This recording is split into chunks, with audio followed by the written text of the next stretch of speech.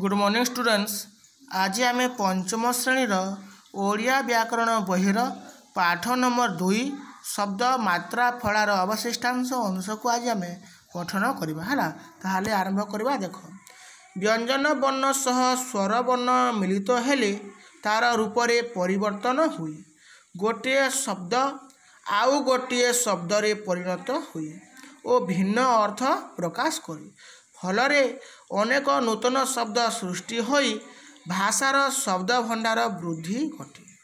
ତ ଯେତେବେଳେ ବ୍ୟଞ୍ଜନ ବର୍ଣ୍ଣ ସହ ହେଲା ବ୍ୟଞ୍ଜନ ବର୍ଣ୍ଣ ତ କ ଖ ଗ ଗ ଏପରି ହେଲା ବ୍ୟଞ୍ଜନ ବର୍ଣ୍ଣ ସହ ସ୍ୱର ବର୍ଣ୍ଣ ମିଳିତ ହୁଏ ହେଲା ତାର ରୂପରେ ପରିବର୍ତ୍ତନ ହୁଏ। ତ ବ୍ୟଞ୍ଜନ ବର୍ଣ୍ଣର ରୂପରେ ପରିବର୍ତ୍ତନ ହୋଇଥାଏ।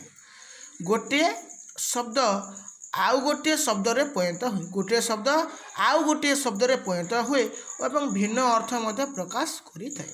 ଦେଖ ଧନ ମନ କଳ କଳସ ମନ ଏଠାରେ ମାତ୍ରା ଲାଗିଥିବା ଯୋଗୁଁ ଏଗୁଡ଼ିକ ଭିନ୍ନ ଭିନ୍ନାର୍ଥ ପ୍ରକାଶ କରୁଛନ୍ତି। ଦେଖ ଧ ଆକାର ଧା ନ ହେଲା ମନ ମ ଦୁର୍ଘେଇ ମିନ ହେଲା କଳ କ ଦୁର୍ଘ କୁଳ ହେଲା ଧଆକର ଧାନ ଧାନ ମ ଦୁର୍ଘେଇ ମିନ ଅର୍ଥ ମାଛ କ ଦୁର୍ଘ କୁଳ କୁଳ ଅର୍ଥ ତଟ କ କଳସ କଳସ କଳସ ଅର୍ଥ ଆମେ ଗଡ଼ୁ ତ ଆମେ ତାକୁ କ ଐକାର କଇଳ ଆଗର କୈଳାସ ଅର୍ଥ ପର୍ବତ ମନ ମନ ତାର ମୌନ ମୌନ ଅର୍ଥ ଚୁପ୍ ରହିବାଟା। ଦେଖ ମ ଔକାର ମୌନ ହେଲା।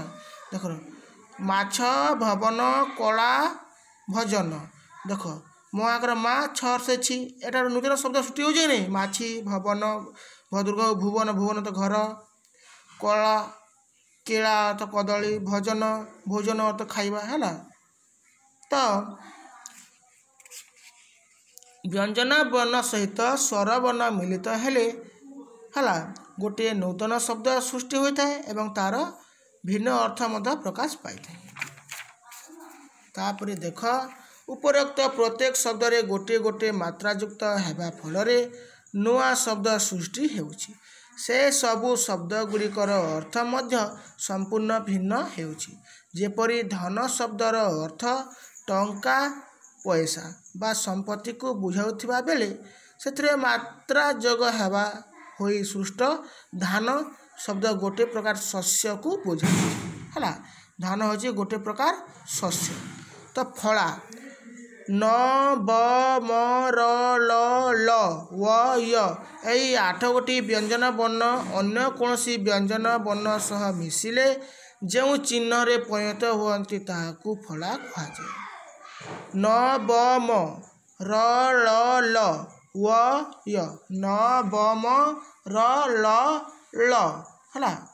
ତାର ୱ ୟ ତ ଏହି ଆଠ ଗୋଟି ବ୍ୟଞ୍ଜନ ବର୍ଣ୍ଣ ଅନ୍ୟ ବ୍ୟଞ୍ଜନ ବର୍ଣ୍ଣ ସହ ମିଶିଲେ ଯେଉଁ ଚିହ୍ନରେ ପରିଣତ ହୁଅନ୍ତି ତାହାକୁ ଫଳା କହିଥାଏ ନ ଫଳା ଗ ଯୋଗ ନ ସମାନ ଗ୍ନ ଭଗ୍ନ ଲଗ୍ନ ଭଗ୍ନାଂଶ ବ ବଫଳା ମ ଯୋଗ ବ ମବମ୍ବ ଆମ୍ବ ଶିମ୍ବ ଲମ୍ବ ନିମ୍ବ ତାପରେ ମ ମ ଫଳା ଦ ଯୋଗ ମ ସମାନ ଦ୍ମ ପଦ୍ମ ସଦ୍ମ ଛଦ୍ମ ବେଶ ହେଲା।